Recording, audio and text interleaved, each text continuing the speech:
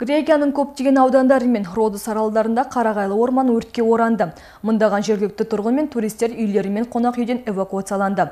Аралдың шығысындағы жағдай тіпті қиын. Жағажайда адамдарды жеке қайықпен жағалау күзеті кемелері эвакуацияланып жатыр. Ақпарат бойынша туристер арасындағы танымал жерге Грекия флотының кемесі де бара жатыр. Грекияның өрт күзеті басшысының орынбасары қазір қызметкерлері елдің көптеген аудандағы өртпен күресіп жатыр. Бірақ ең күрделісі Родос аралдары болып тұр. Киотарь ауданында үш қонақ үйді өрт шарпыды. Оны сөндіру үшін 5 тікұшақ пен 173 өрт сөндіруші жұмыс істеп жатыр. Кеше Родосқа жергілікті командаға көмектесу үшін Словакиядан өрт сөндірушілер жетті.